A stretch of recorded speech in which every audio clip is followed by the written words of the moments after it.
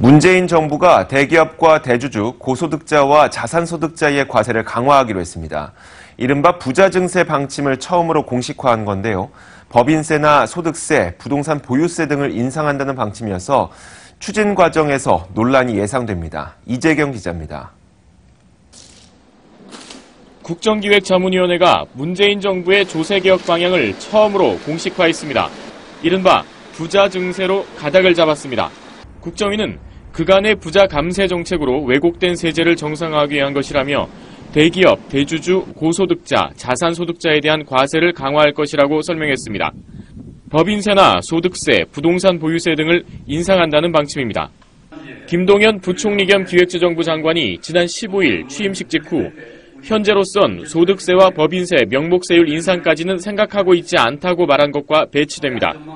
김동연 부총리의 발언은 오는 7, 8월쯤 발표할 세법 개정안엔 명목세율 인상을 반영하지는 않겠다는 취지였지만 이번 국정기획위의 발표는 정부가 내년까지 인상 방안을 마련하기로 한 것이어서 논란이 예상됩니다. 여기에 사회적 논의 대상으로 수송용 에너지 세제 개편까지 포함시키면서 최근 정부가 진화에 나섰던 경유세 인상 논란도 다시 불붙을 전망입니다. 다만 당장 세율을 인상하면 조세 저항에 직면할 수 있기 때문에 내년까지 국민적 합의를 먼저 이끌어내기로 했습니다. 전문가와 각계 인사들로 구성된 가칭 조세 재정개혁 특별위원회를 하반기에 꾸려서 내년에는 개혁 보고서를 대통령과 국회에 보고하도록 할 계획입니다. 문재인 대통령의 대선 공약 실현을 위한 재원 마련과도 맞닿아 있습니다.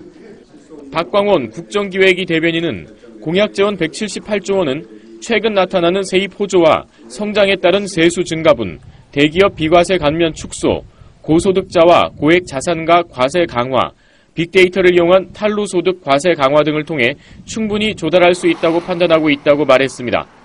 문재인 정부는 또 다른 한 축으론 중산층과 서민층에 대한 세제 지원을 지속적으로 확대하기로 했습니다. 머니투데이 방송 이재경입니다.